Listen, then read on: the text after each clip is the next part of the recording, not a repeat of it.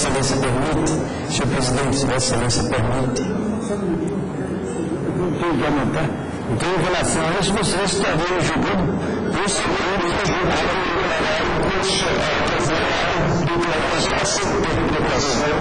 de eficácia regulativa na declaratória de 29, não proteco o pedido aqui não, porque eles pedem na declaratória 29 que o Supremo declare né, que a, a constitucionalidade da aplicação da lei a atos e fatos jurídicos que tenham ocorrido antes do advento, que é junho de 2010, né, do referido diploma. Ou seja, né, aqueles que claudicaram deviam ter tido uma premonição contra a vinda dessa lei.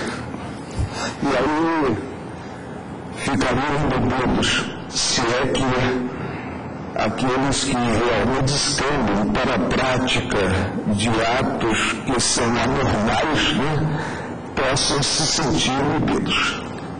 Senhor presidente, a minha intervenção é singela.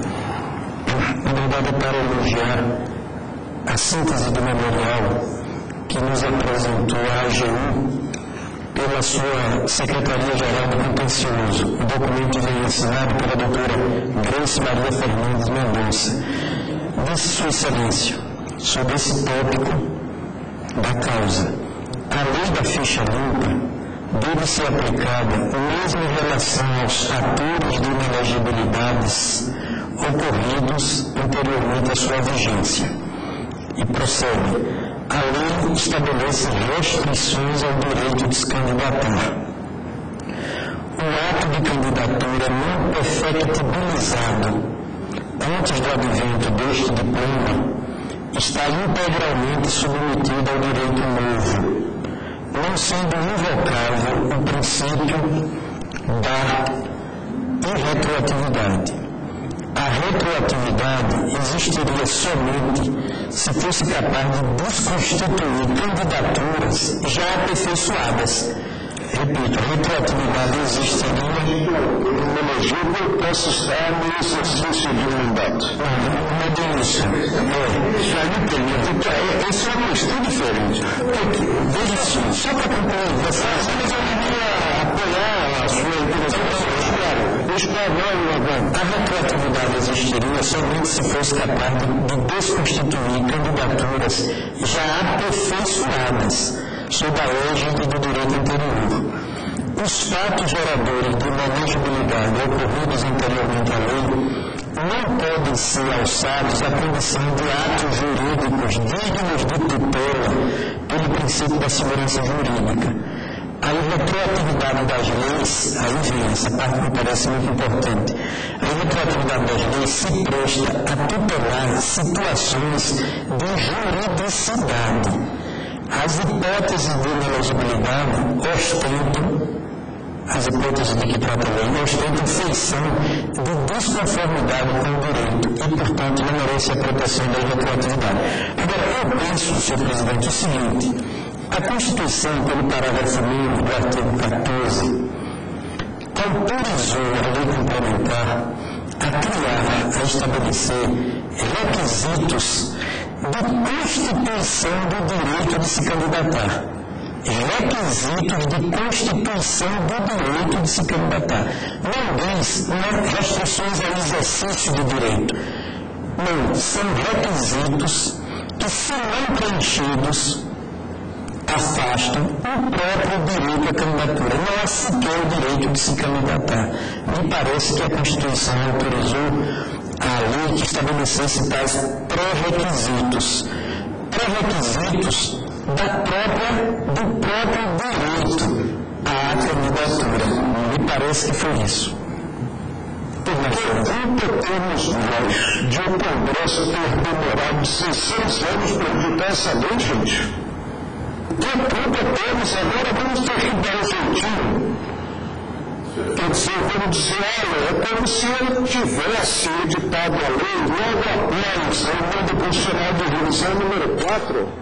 Senhor presidente, é, pela eu, eu apenas gostaria de destacar o seguinte.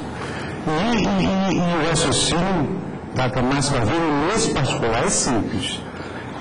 nós decidimos, o recurso ordinário 633703, que a Lei 2010 não poderia ser aplicada no mesmo ano em que foram realizadas as eleições. Conceitualmente, resta inaplicável às eleições de 2010 e anteriores, e, por conseguinte, aos mandatos em curso, como já reconhecido por esta Corte. Outra coisa.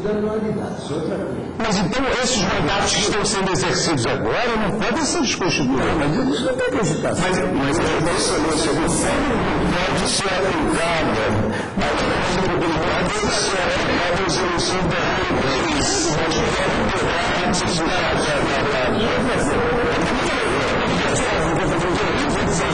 Era um assunto que você.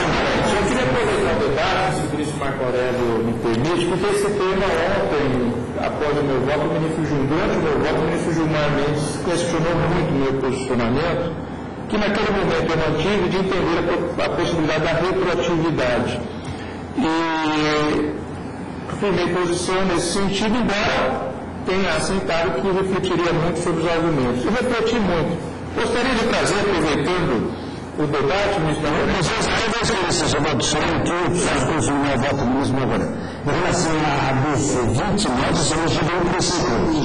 O processo verdade na ADI, ADI, na ADI, julga procedente ali. não, não precedente na ADI. Julgo precedente na declaratória número 30 para assentar a constitucionalidade dos preços total, na 30. Mas na 29, como há esse pedido que a meu ver extravagante, para se declarar que a lei de 2010 apelou fatos até 2003, 2000, né? Pelo nosso voto para, declarar de investigação constitucional. Em primeiro lugar, eu gostaria de, mais uma vez, destacar a coerência do ministro Marco Aurélio, porque o cerne do meu posicionamento de manter a posição do meu voto anterior sobre a possibilidade de retroatividade da lei é a inexistência de direito adquirido a regime jurídico.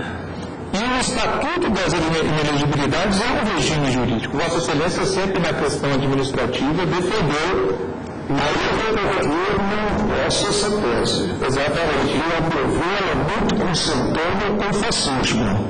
O Estado pode. Mas gostaria de trazer aqui a questão aluno no seguinte sentido para esclarecer o posicionamento.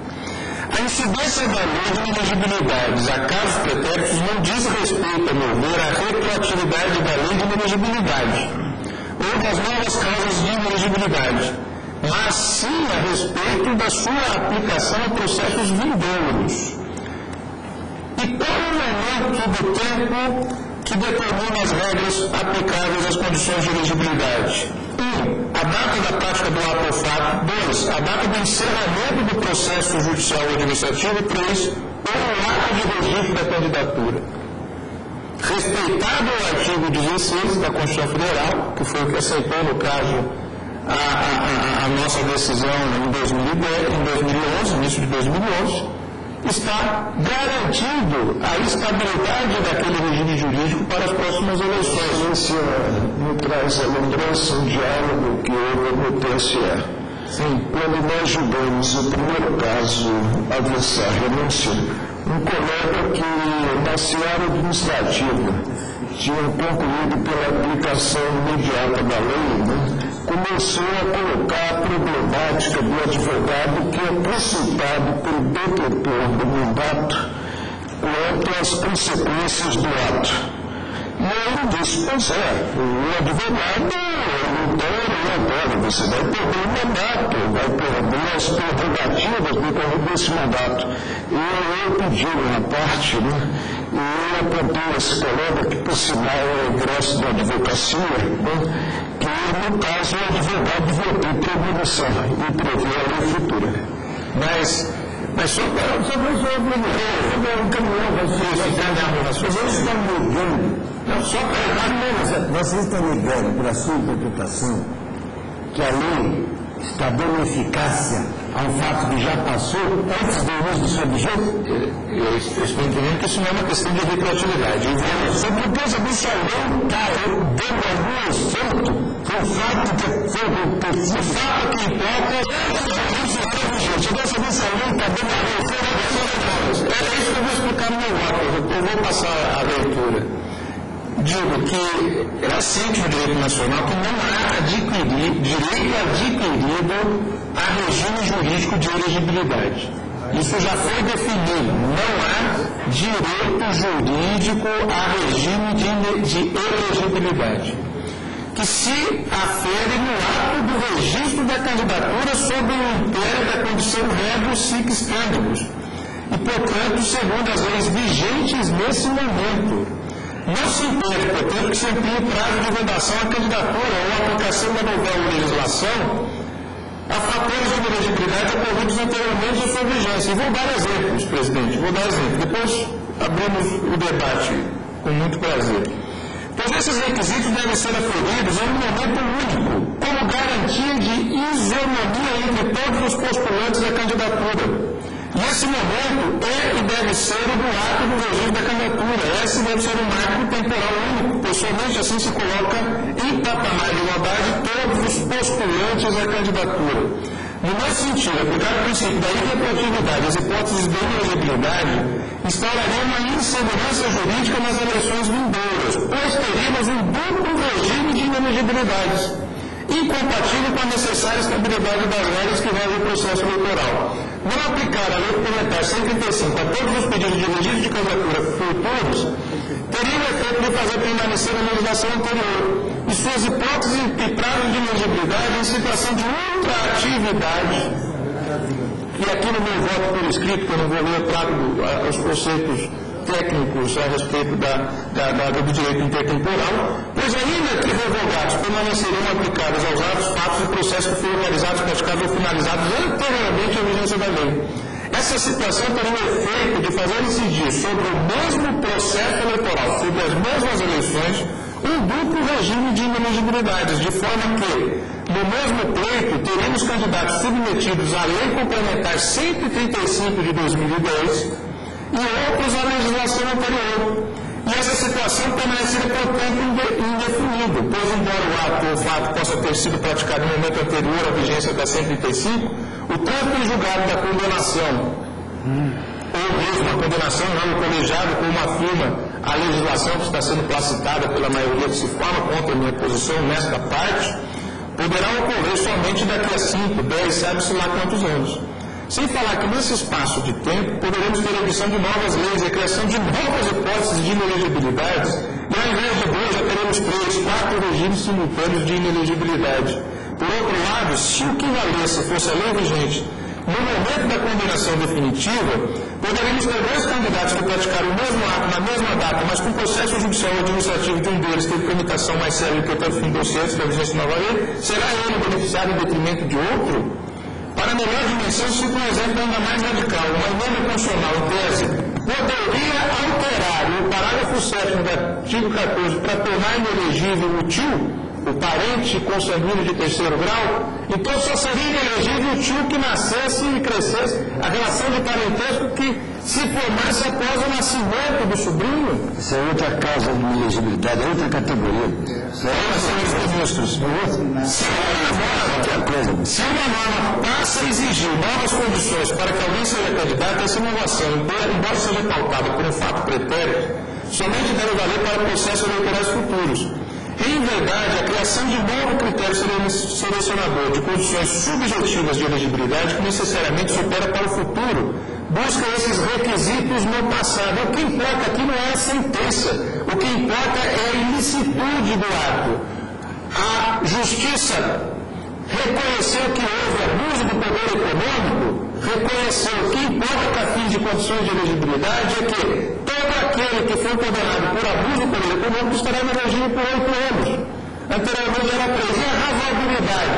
O debate de ontem foi bastante produtivo e o ministro Celso destacou a possibilidade de reiteradamente as maiorias irem excluindo aqueles que estejam condenados por a reedição de aumentos dessa finalidade.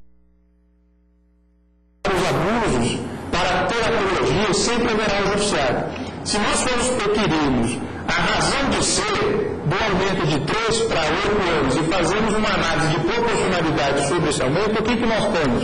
Quando a elegibilidade na redação original da 6490 era de 3 anos, isso permitia que alguém assumisse um mandato e mesmo condenado pudesse vir a ser candidato após o mandato de quatro anos. E por que o prazo de oito anos? Foi tirado do nada pelo legislador? Não, aqui nos cumprimentos do legislador. Porque existe no país, existe no país um mandato, o maior mandato do país é o senador da República, cujo prazo é de oito anos. Então, se um senador eleito o fez abusando do poder político, abusando do poder econômico, o prazo de oito anos é para quê?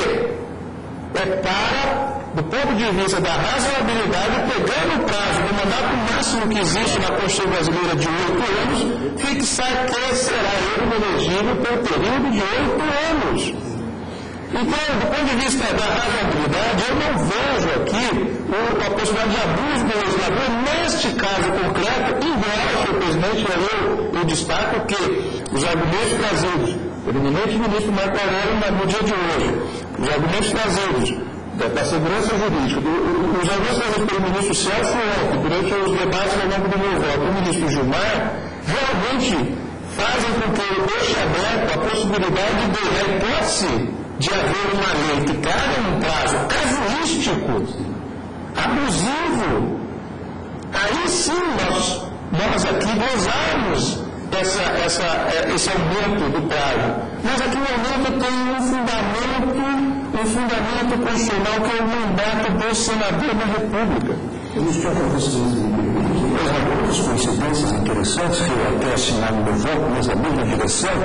Por exemplo, significa o prazo em que o chefe do Executivo permanecer no cargo, quatro anos mais perto, e o prazo do artigo 52, parágrafo único, o prazo de inabilitação anos para que sofreram projeto de processo impeachment. Portanto, prazo, extraordinariamente, assinalou Vossa Excelência, é razoável que coincide com uma série de parâmetros fixados pelo próprio Constituinte originário. original, sobre o seguinte, há um pedido de aplicação da Lei 135, considerando causas de inelegibilidade ocorridas antes da edição da lei tanto quanto se pôde depender até então, a maioria acolheu essa constitucionalidade. Eu apenas, para efeitos de, digamos assim, botar no pé de um dado de declaração de um colega para colega. Ministro Toffoli, Vossa Excelência, então, acolhe esse pedido de constitucionalidade no sentido de aplicar a lei 135 a causas de inelegibilidades anteriores à lei.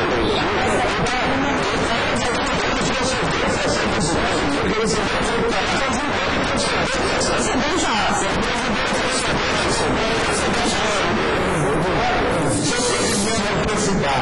presidente, eu quero o único ponto que eu não dava pela precedência integralmente era apenas no caso da linha E, em que eu acompanhei inicialmente a interpretação conforme dada pelo ministro Fux. Mas eu estou reajustando para dar a procedência sem qualquer restrição. Já está assim. Procedente. Já está anotado assim, procedência total. Procedência total. Então, não é reajuste. Não respeito, mas só fazer uma ponderação. Todas essas considerações de Vossas Excelências, como sempre muito respeitados, muito inteligentes, deixa de lado um, problema pode ser considerado de fato irrelevante, que é uma responsabilidade ética que é o pressuposto da imputabilidade jurídica. Como disse, o ministro Marcarelli usou uma expressão não jurídica para definir isso. Ele perguntou, só se a pessoa fosse paranormal ele teria alternativa de evitar o fato para dali a alguns anos ele não sofrer restrição. Em termos jurídicos, isso significa o seguinte, que, segundo essa interpretação, o devido respeito, não importa o ponto de vista da responsabilidade ética para efeito de imputabilidade jurídica. Isto é, não importa se o cidadão teve ou não teve a alternativa de evitar um ato que vai acarretar no futuro uma restrição evidente, que todo mundo admite é uma restrição. Não estou cogitando se é pena ou não é. Que é uma restrição não há dúvida nenhuma. Então, veja bem, aqui, o que, que essa interpretação está construindo? Leva em consideração o ser humano na sua dignidade, porque abstrai a capacidade que ele tem de se autodeterminar. Porque não importa se ele for sabendo ou não sabendo, ele vai ser prefado de qualquer forma. É que na história do mundo, não foi o conceito fez, foi só antepassados. Mas, ah, meu Deus, já recebemos sempre na casa a responsabilidade ética como condição necessária do conceito de imputabilidade jurídica. Nós temos atribuindo uma eficácia negativa porque ela é restritiva do direito subjetivo público baseado num fato acontecido no passado, onde a gente não tinha possibilidade, a possibilidade factual, factual de eleger comportamentos. Portanto, não importa do ponto de vista moral se ele tinha essa capacidade, não tinha, ele vai sofrer a restrição de qualquer jeito. É isso que eu presidente, uma pergunta. Suponhamos, na vigência da Lei Complementar 64, na redação original, que o juiz sentencie o abuso do poder econômico e na sentença estabeleça que a inelegibilidade é por um ano e transite em julgado.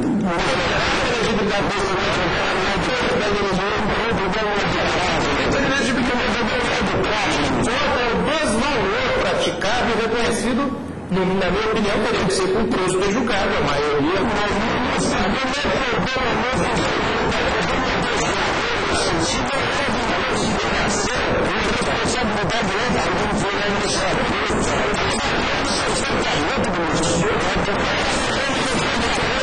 a imprevisibilidade está protegida pelo 16 da Constituição Federal. O raciocínio de Vossa Excelência deita raízes na Constituição. Com uma peculiaridade, Vossa Excelência não está usando, quando não deve usar, o raciocínio lógico penal. Não, a matéria penal.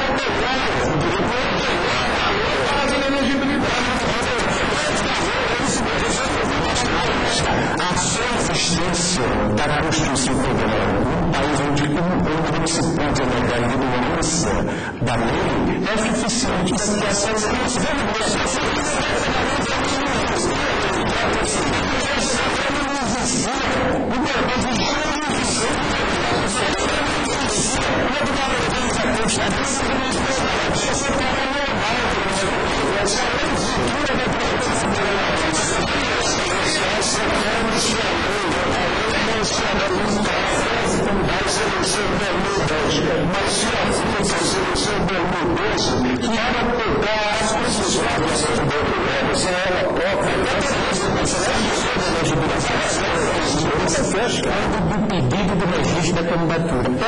a Constituição.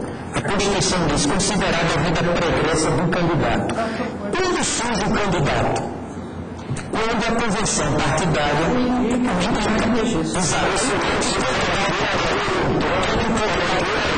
o candidato pede à justiça eleitoral o registro do seu nome. Ele já saiu candidato da convenção partidária. Então, quando o registro da candidatura, esse é um marco temporal para aferir as condições de elegibilidade é preciso que essas condições sejam aferidas à luz da legislação. Então, sobre a elegibilidade, tem uma lei que deve ser aplicada. Sobre a única coisa, é outra coisa, o momento de aferir a elegibilidade é o momento do requerimento de inscrição do presidente. Agora, o que o juiz tem que estabelecer, mas a lei que vai ser aplicada na essa avaliação da lei vigente. A lei vigente é o do fato que temos vários regimes de do fato. O direito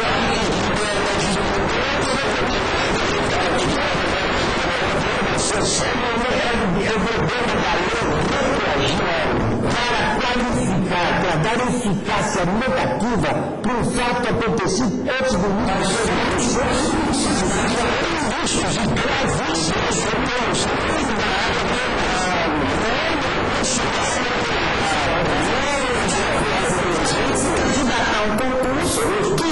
de entrar sem precisar daquele requisito, chega na hora do edital e ele fala que não pode mais. Qual o problema? Vamos dar a palavra ao ministro Celso de Mello para concluir. Senhor presidente, neste estágio do julgamento, as ações declaratórias e a ação direta se acham virtualmente decididas, uma vez que já se atingiu mais do que maioria absoluta, fala, fala melhor, né? mais do que maioria absoluta, já se atingiu mais do que maioria absoluta, para reconhecer a inteira validade constitucional da Lei Complementar 135 de 2010.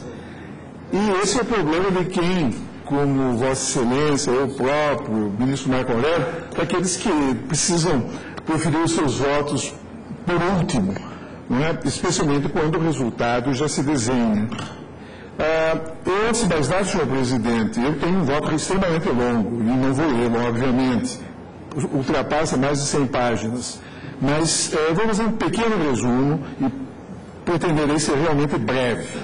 Antes de mais nada, eu quero registrar o alto significado democrático que representou a iniciativa popular e que resultou a edição pelo Congresso Nacional da Lei Complementar 135 de 2010. Acentua também que são altamente louváveis, altamente respeitáveis as razões que motivaram essa iniciativa do povo do nosso país, apoiado por entidades e por instituições da mais alta respeitabilidade.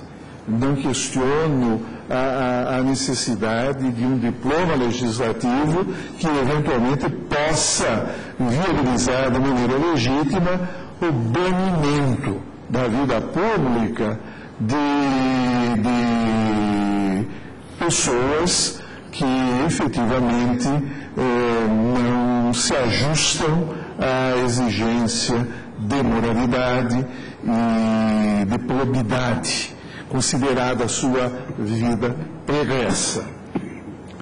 É, quando do julgamento é, de recursos extraordinários efetuados por esta Corte, o caso Roriz, o caso Jader Barbalho, o caso Leonídio Correia Bolsas, eu pude externar algumas razões que gostaria de brevemente reafirmar neste ponto, senhor presidente. Uma delas concerne a desejável e necessária convergência entre ética e política como substrato legitimador do exercício democrático do poder.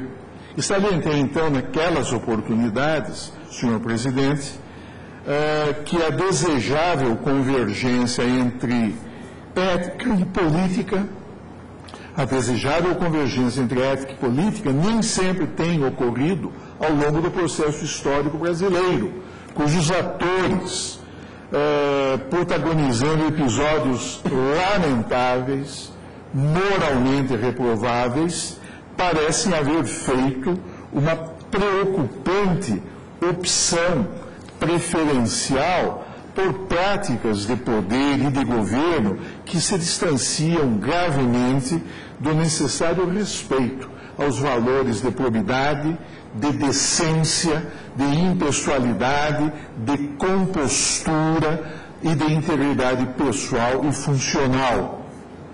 E os membros de poder, quando assim atuam, transgredem claramente as exigências éticas que devem pautar e condicionar a atividade política, que só se legitima quando efetivamente respeitado o princípio da moralidade, que traduz valor constitucional de observância necessária na esfera institucional de qualquer dos poderes da República, mesmo porque a ordem jurídica não pode permanecer indiferente a condutas de quaisquer autoridades ou agentes do Estado que hajam eventualmente incidido em censuráveis desvios éticos no desempenho da elevada função de representação política do povo brasileiro.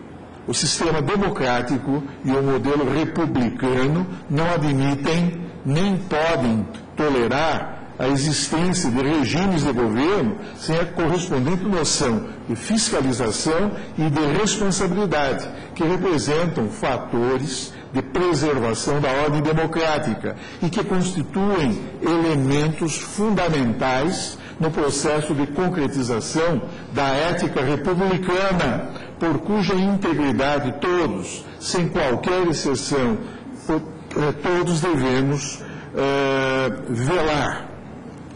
Do outro lado, senhor presidente, faço considerações a respeito da gestão republicana do poder e, da, e, sobre a preservação dos postulados éticos jurídicos, da probidade, da moralidade e do papel de extraordinária importância que desempenha em nosso país a justiça eleitoral. E aqui, então, eu me estendo a esse eh, respeito, senhor presidente. Ah, Salientei já ontem, senhor presidente, que a iniciativa popular, que representa um novo instrumento de exercício democrático definido pela Constituição de 1988, a iniciativa popular não pode legitimar nem justificar a formulação de leis que transgridam a Constituição e que possam implicar, a partir de sua incidência, supressão ou limitação de direitos fundamentais, uma vez que estes, os direitos fundamentais, compõem um núcleo essencial de valores absolutamente insuscetível. Este núcleo, núcleo duro de valores, é um núcleo insuscetível de reforma, até mesmo por efeito de deliberação do Congresso Nacional quando no desempenho do seu poder reformador. E como aqui já foi ressaltado a partir de um doutíssimo voto que a eminente ministra Karen Lúcia proferiu no julgamento da DPF 144, de que fui relator, com ofensa a direitos e garantias fundamentais assegurados pela Constituição da República, não se constrói uma sociedade fundada em bases democráticas, nem se edifica o Estado democrático de direito.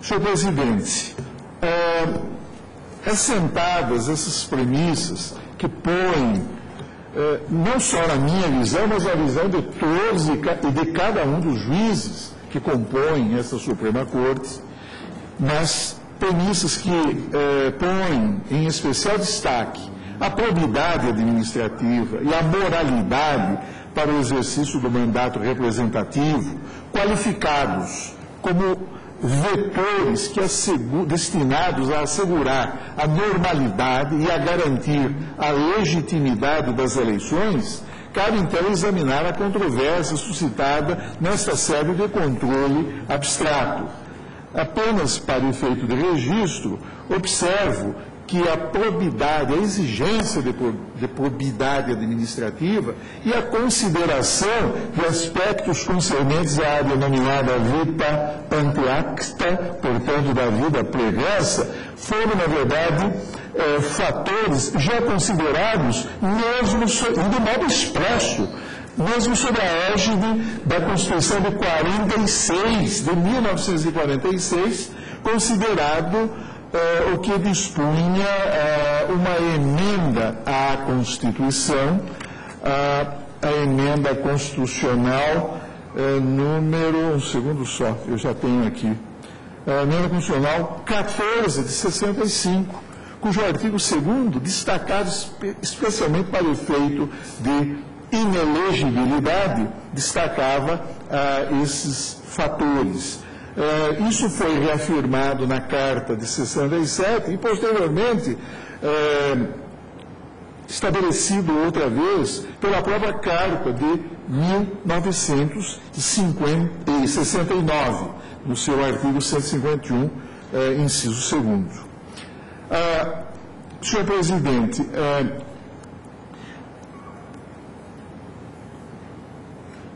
não obstante tenha por válidos muitos, eu diria quase todos, os preceitos e dispositivos constantes da Lei Complementar 135 de 2010, que introduziu significativas modificações no texto normativo da Lei Complementar 64 de 90, eu considero, no entanto, como incompatíveis com a Constituição da República algumas das regras que esse novo diploma legislativo introduziu em nosso sistema eh, normativo, senhor presidente. Ah, eu, modificando a ordem do meu voto, eu queria, antes de mais nada, enfim, e sempre respeitando a posição dos eminentes juízes que pensam em sentido contrário, que a inelegibilidade, ressalvada a hipótese de, as hipóteses de inelegibilidade inata, mas a partir próprio, da própria distinção feita pela doutrina entre inelegibilidade inata e inelegibilidade combinada, a inelegibilidade inata resultando diretamente da existência de certas situações, algumas de natureza funcional, magistrados, por exemplo, eh, não podem, simplesmente no desempenho da sua atividade, não podem eh, exercer qualquer função eletiva.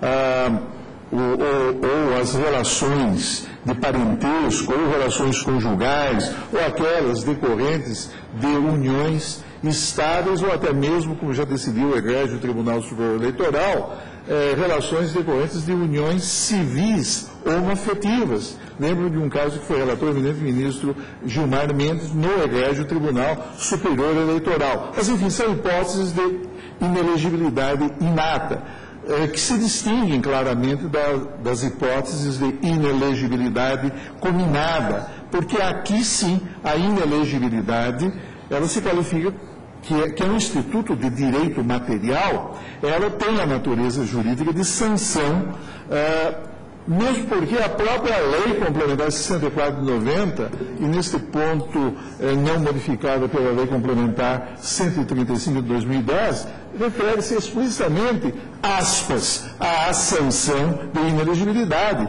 fecha aspas.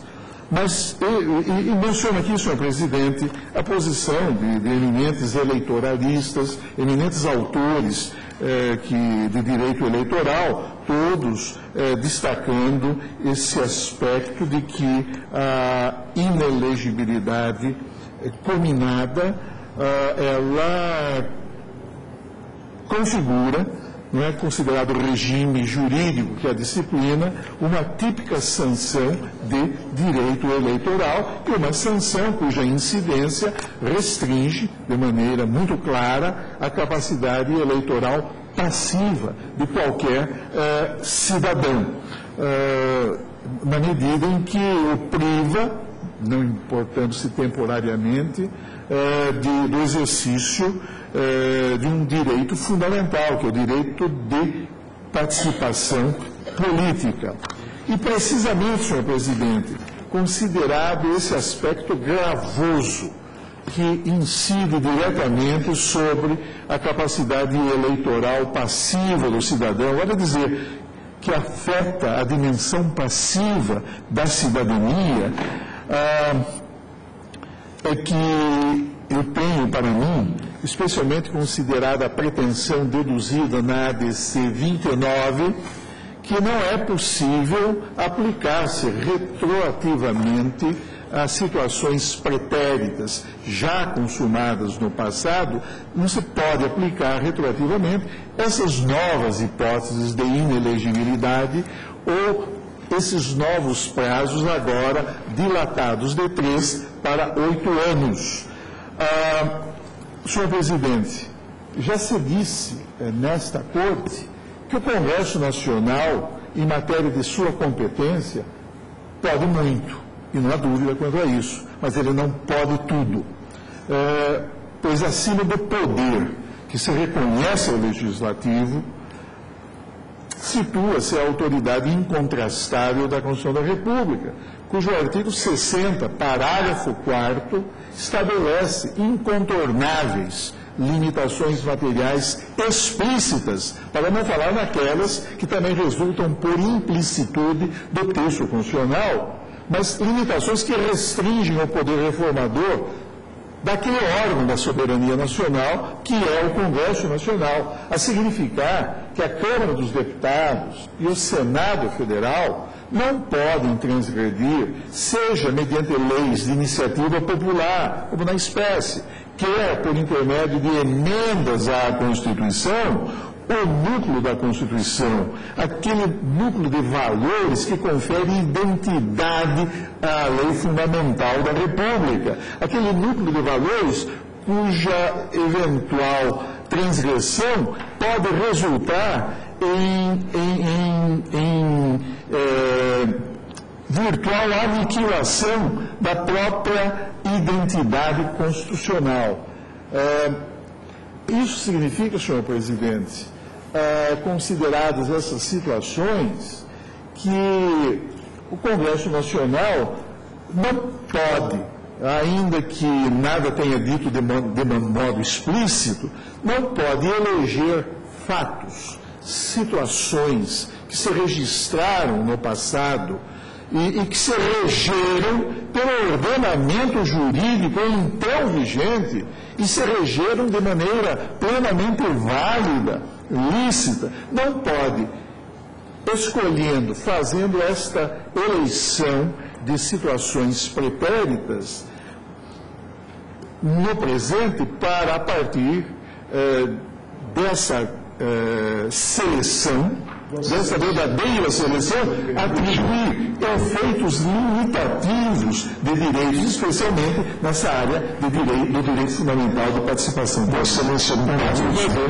o texto que saiu da Câmara continha os verbos no pretérito perfeito, pretérito perfeito do subjuntivo mas o texto que foi realmente sancionado, né, e foi aprovado pelo Senado, os, os verbos estão no futuro do subjuntivo.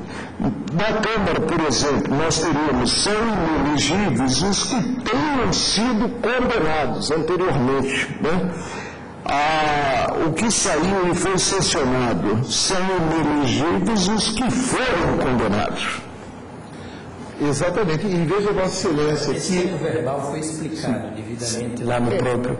O senador é, Demóstenes Torres explicou a razão de ser da mudança do verbo, do tempo do verbo. Mas a mim me parece que, eh, embora possa ser um argumento, não é, é, é no sentido, inclusive, o princípio do nosso direito, e que diz respeito à segurança jurídica. Mas o fato é que o Congresso Nacional é, um efeito jurídico póstumo, um efeito jurídico póstumo é, que afeta a integridade de situações já definitivamente consolidadas no passado, situações que se aperfeiçoaram com estrita observância do ordenamento positivo então vigente.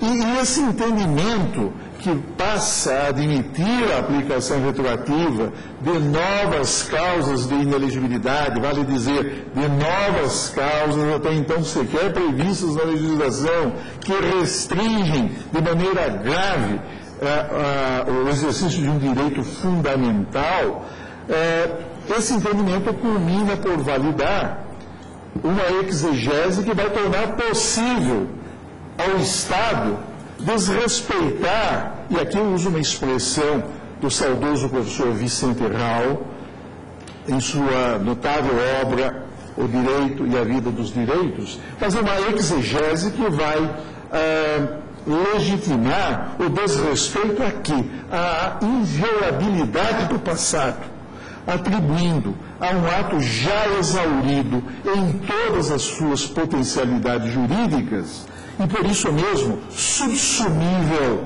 à noção mesma de ato jurídico perfeito, há uma nova e gravosa consequência no plano jurídico eleitoral. Na realidade, o, o, o, o reconhecimento da possibilidade de o legislador imputar as situações pretéritas já consumadas e aperfeiçoadas no passado, segundo o ordenamento positivo então vigente.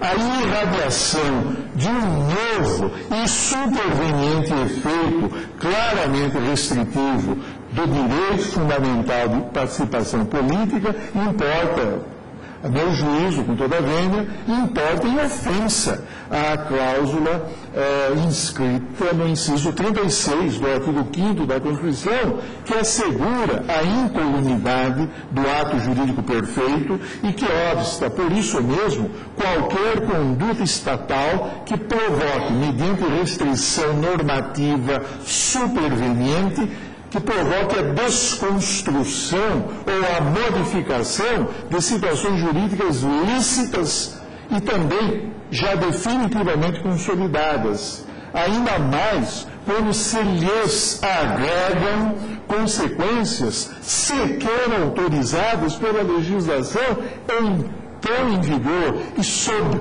cujo domínio normativo aqueles atos se processaram e se realizaram.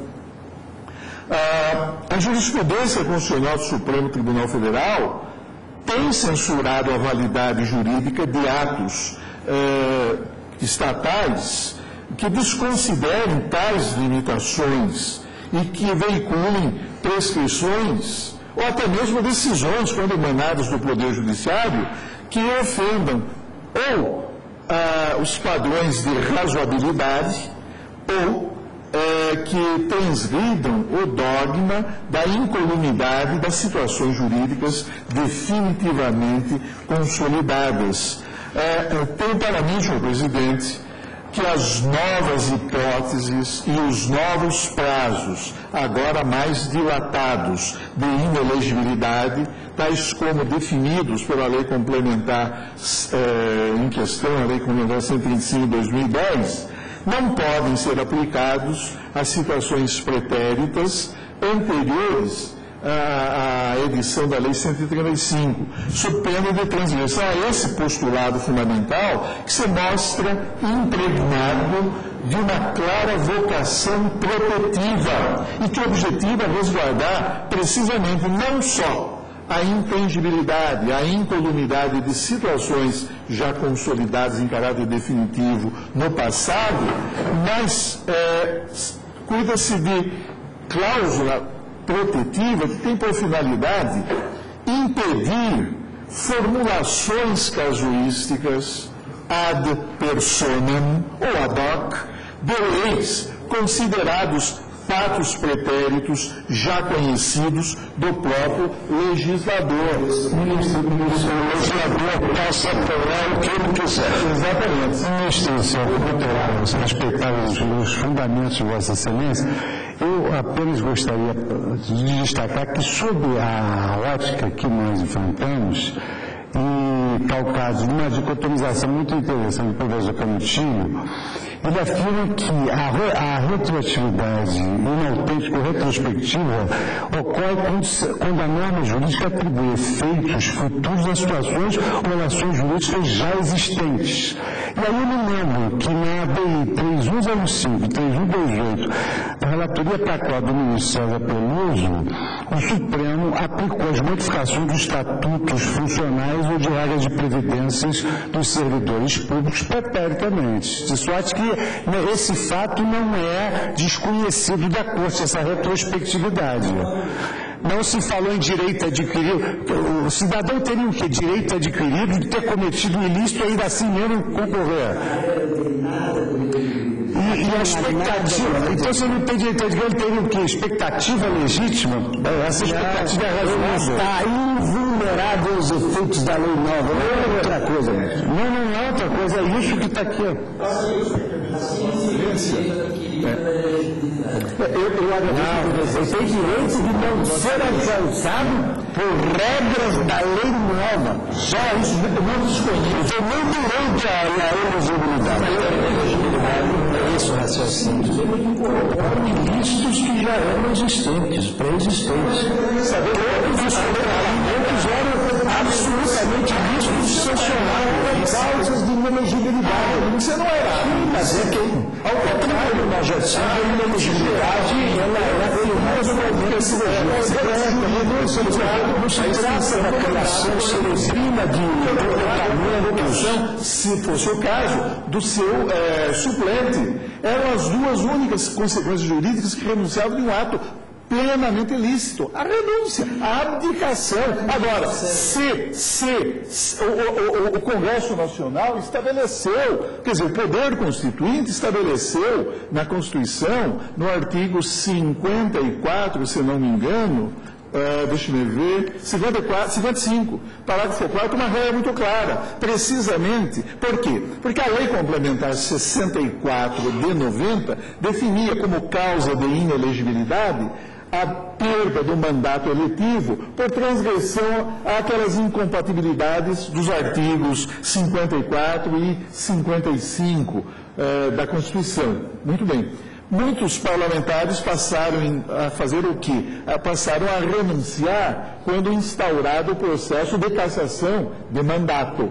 Pois bem, a, o parágrafo 4 do artigo 55 é muito claro, a dizer que a renúncia de parlamentar submetido a processo não é, submetido a uma mera representação, mas a processo que vise ou possa levar à perda do mandato, nos termos desse artigo, que cuida das transgressões é, a certos deveres e a determinadas incompatibilidades, terá seus efeitos suspensos até as deliberações finais que os parágrafos segundo e terceiro, ou seja,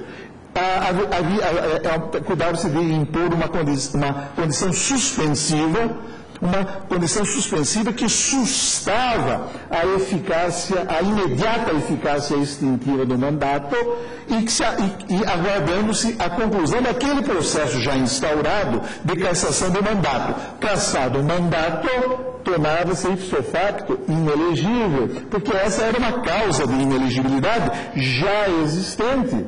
Agora, a, a, renúncia em si não pode ser qualificada, nem então, especialmente então, eh, antes da, da, edição da Lei Complementar 135, como um ato ilícito. Vossa Excelência permite. Ao contrário. Pois não, claro.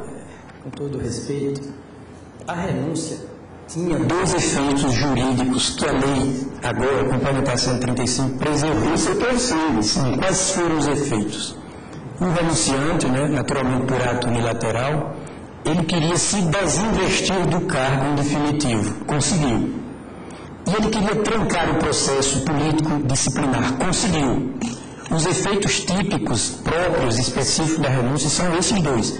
Agora, a renúncia não pode significar uma blindagem para o futuro. A lei fica proibida de fazer essa renúncia, fim essa causa, mas pode ir para o futuro, não retroativamente. Quem, quem renunciou, e eu não vou mencionar situações concretas, mas eu tenho presente um caso que nós julgamos, é claro, sob a perspectiva do artigo 16, mas um determinado congressista que renunciou em 2000, 10 anos antes da edição de uma lei que agregou as duas únicas consequências jurídicas então existentes, extinção do mandato do renunciante e convocação do suplente, um terceiro efeito mais gravoso e restritivo de direito fundamental, dez anos após. Agora, isso é muito prazo. Por quê? Porque se a renúncia tivesse ocorrido um segundo antes da, do início da eficácia dessa nova lei restritiva, também entenderia inaplicável essa nova causa às situações pretéritas, situações que se realizaram e que se conformaram ao ordenamento jurídico